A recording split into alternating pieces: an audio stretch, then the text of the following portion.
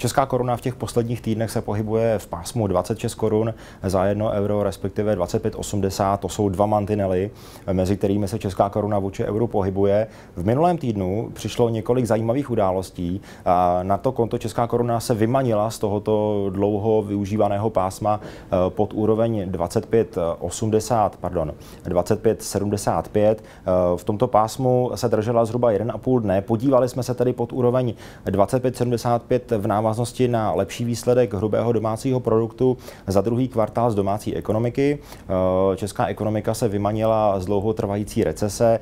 Ta recese trvala 6 po sobě jdoucích kvartálů. Ono posílení zhruba o těch 6-7 haléřů není nic výjimečného. Nicméně faktem zůstává, že my jsme si zvykli na to, že koruna se kotuje zhruba v 15 haléřovém pásmu. Z toho důvodu eh, se jedná o celkem zajímavý pohyb.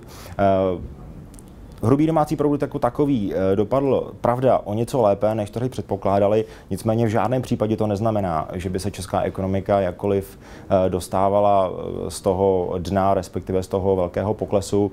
Počítáme spíš s tím, že česká koruna se bude pohybovat v tomto pásmu i nadále.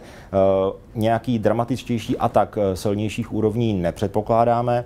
Pak, když by koruna směřovala někam k úrovni 25-50, dá se předpokládat, že zasáhne Česká národní banka svou případnou intervencí. Nicméně, pakliže by se koruna pohybovala v tom daném pásmu, jak jsem ji zmiňoval, 25,80 až 26 korun, nemá k této intervenci Česká národní banka jakoukoliv, jakýkoliv důvod, eh, vzhledem k tomu, že tyto hranice ČNB také předpokládá eh, pro další měsíce. Eh, není to proto důvod ani ze strany inflace, ta je dokonce pod inflačním cílem.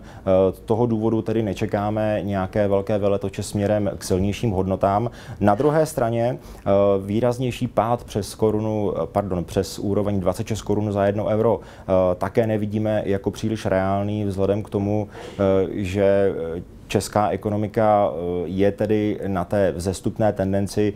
Pravda, ta vzestupná tendence bude pravděpodobně velmi pomalá. Nějaký pád přes hranici 2630, 2640 nevidíme v tuto chvíli jako reálný. Dá se tedy předpokládat, že pro další měsíce eh, se bude koruna pohybovat v pásmu 25,80 až 26 korun za 1 euro.